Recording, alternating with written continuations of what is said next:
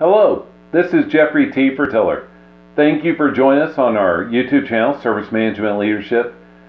We ask that you look around at some of our other videos and leave feedback, but we do thank you for joining us on this video.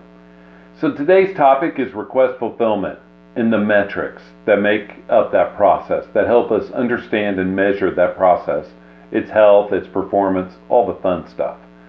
So we'll first talk about metrics and then critical success factors, CSFs, which are very interesting in themselves because if we fail on our critical success factors, we will fail in our process. They're critical.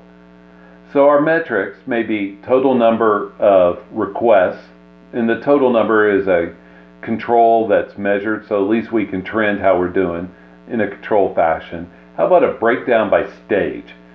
Stage where our request is in our in the process. So is it logged? Is it work in progress? Is it pending? Is it closed? A breakdown of that total number by stage. Also the size of current backlog of service requests.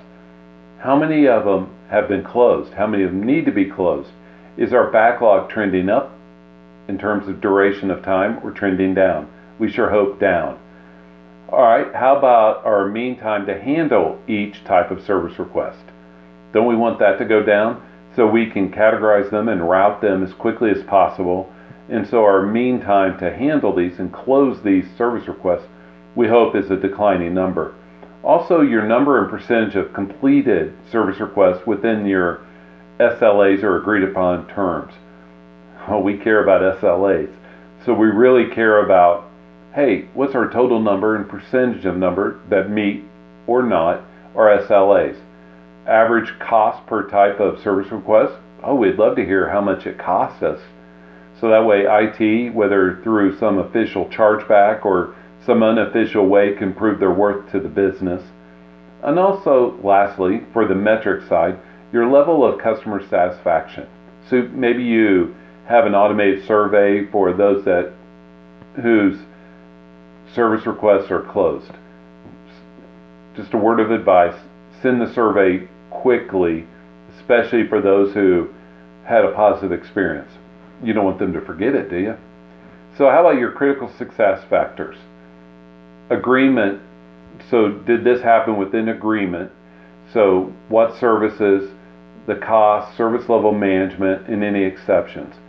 So, for your critical success factor for your request fulfillment, you need to have agreement on what services will be provided, at what cost, what service level, things of that nature. How about what exceptions? Maybe your security group wants to throw an exception in there, right? That happens. Also, your critical success factor could be the publication in a service catalog, like your self service. We want somebody to be able to order this service. If they can't, the process will not be successful, will it? Next, how about your definition of in your procedural for the service? So, what service are we providing? What's the definition of it? Make it as public as possible.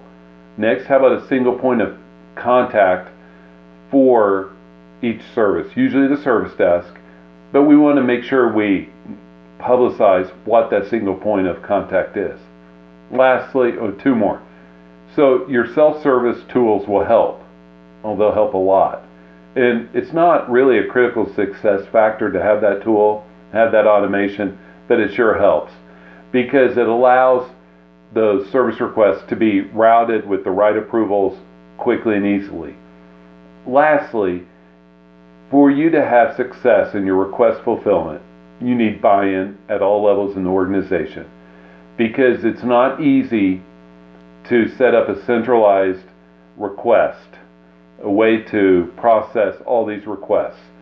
You do not want people calling all of the IT department for these requests like they do today. You want to centralize it as best possible. That's where the single point of contact came in. This is Jeffrey Tefertiller. Thank you for joining us on this video.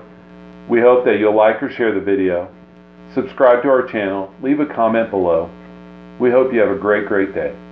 Bye.